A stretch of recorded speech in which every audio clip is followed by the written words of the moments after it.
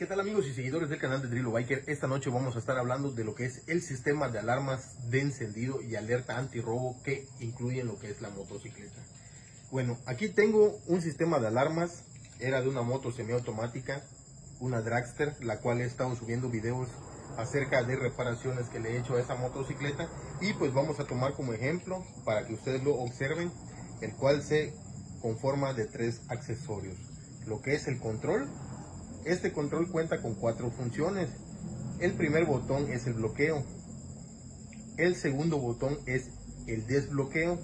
El tercer botón es la función de encendido de la motocicleta.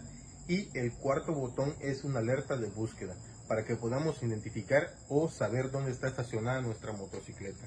Lo que tenemos aquí es un altavoz o lo que es una bocina, la cual emite lo que es la alarma cuando tocan la motocicleta.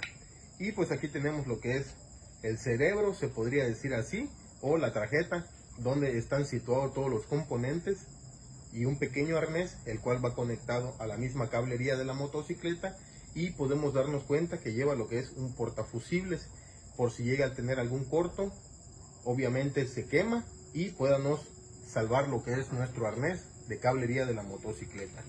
Bueno amigos, son dos marcas de motocicletas que incluyen lo que es este sistema de alarma. Es alarma antirrobo y encendido a distancia. ¿Qué sucede si este aparato deja de funcionar? Bueno amigos, en algunos casos si este aparato deja de funcionar, la motocicleta no se podrá apagar por sí sola. Aunque nosotros eh, cerremos lo que es el switch, no podremos apagar la motocicleta.